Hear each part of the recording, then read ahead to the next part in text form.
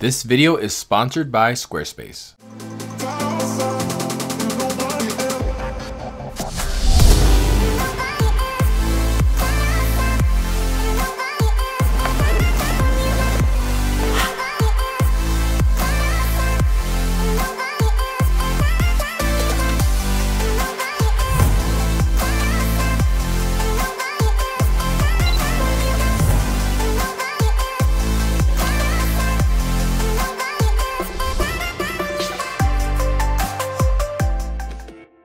Shooting with the 80 Explorer 300 with no bracket, no, uh, we're doing manual. All right, first up is the 85 1.2 RF on the Canon EOS R. Let's see what kind of results we get. Tilt the head back. Yep, that's, that's the money shot.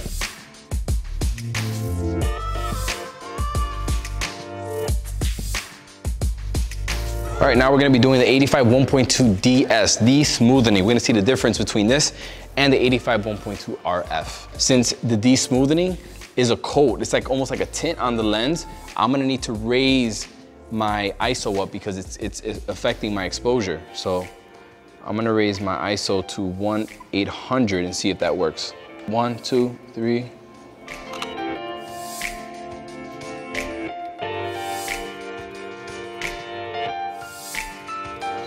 One, two. Let me see.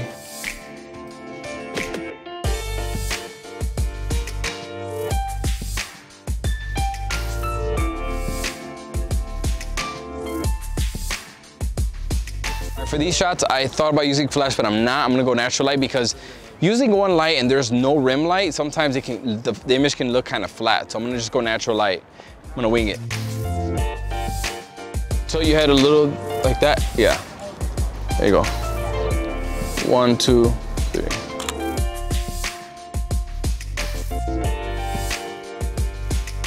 Now the 85 1.2 RF. And now I see right away the exposure changes. It's a lot brighter because it doesn't have the tint. So I'm gonna have to just raise my shutter speed a little bit.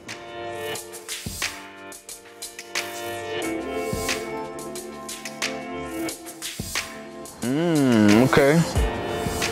Boom. Uh, uh, yes, sir. All right, now 85 1.2 RF lens at f1.2. Here we go.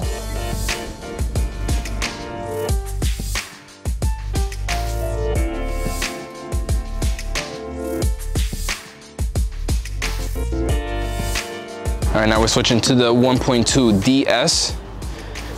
Not much of a difference that I can see, at least in the camera. The bokeh looks a little different. I guess it depends what kind of background it is, but isn't much different so far other than the exposure change that I'm getting. I feel like the background looks more like Gaussian blur with the defocus smoothing, but we'll have to bring it in the, the computer to really see what it's doing. Ahead, keep going, do your thing.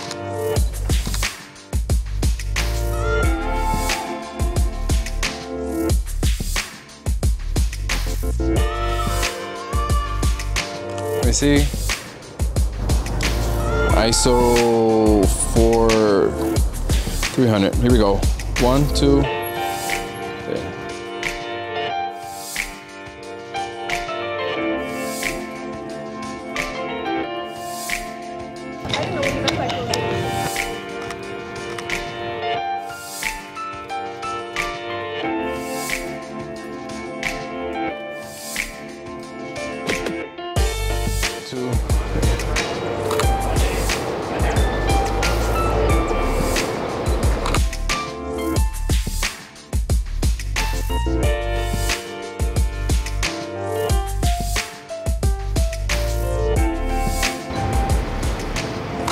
Good. Raise your chin just a little bit.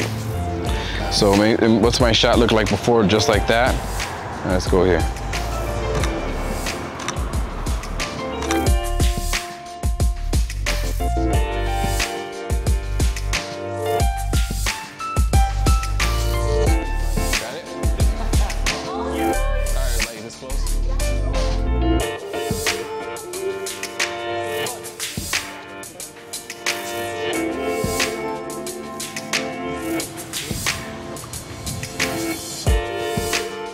Isn't enough of a shock to the system, the 85 1.2 RF is $2,700. But the deep, bless you, baby. But the defocus smoothening lens is $3,000. What are you getting with that extra money? What is defocus smoothing all about? That's what we're gonna talk about because you're spending this much money. You gotta know what you're getting. You know what's funny is that with, the, with, these light bulbs in this spot, I thought this was gonna be the ultimate, the best comparison to see the difference. But surprisingly, when I scroll through these images, there's barely any difference in the background here. I'll tell you one thing that I did notice though, and that's the light loss with the 85 1.2 DS because of this coating that's on the lens. You're losing about 1.5 stops of light, and what that forces you to do is jack up your ISO, make your shutter speed slower, and that sucks when you're trying to shoot in low light. But here is where I saw some difference. Look at the railing in the background. Do you see, this is the DS, that is the RF. The RF, the background is just blurrier. And if I'm buying a 1.2 lens, I want a background to be as blurry as possible. That's pretty much the whole point, and I'm getting that with the RF. With the DS, it seems like the background is more intact. It, the, the background blur looks more artificial, in my opinion. It's almost like going to Gaussian blur in your Photoshop and just slapping Gaussian blur on a background. That's the those are the kind of vibes I'm getting with the defocus smoothing. This one is actually the best comparison shot that I took here. There were Christmas lights in those trees behind her, in those tree branches. Look at this. Do you see what happens here? So the 85 1.2 gives you a more traditional background blur bokeh effect. Whereas the DS gives you more like, it looks like a dwarf star. I feel that the regular 85 1.2 gives you more of character in your background. And look at look at the background in general. Look how much more blurrier it is with the regular 85 than with this lens. Again, if I'm spending over $2,700 for a lens at f1.2, I want a, a, background that gives that that looks like an f1.2 not like an f1.8 with Gaussian blur applied to it. That's just my opinion. When comparing both of these lenses I also have to take into account that the 85 1.2 DS has special elements inside that are supposed to help it with flaring and removing and suppressing chromatic aberration which most wide aperture lenses suffer from.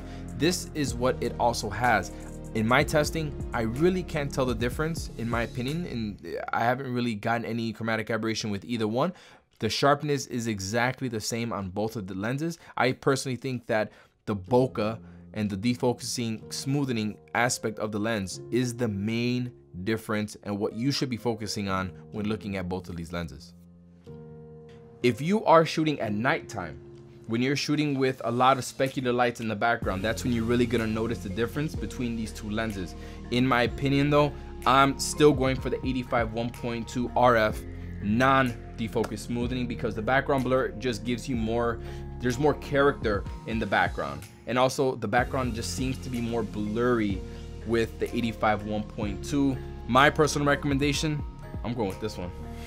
But first, before I leave, I want to send a shout out to my sponsor for this video, and that is Squarespace. If you are looking for a website, blog, or an online store, make sure to check out Squarespace. If you go to my website, you will see that I have an online store with them. I sell my presets and my retouching tutorial on how to edit skin and and how to take your portraits to the next level. I have my own store on there and I make great side, uh, great side income with my online store with Squarespace hosting. It's super easy to set up and your work looks super high quality on your website. You could change it up at a click of a button.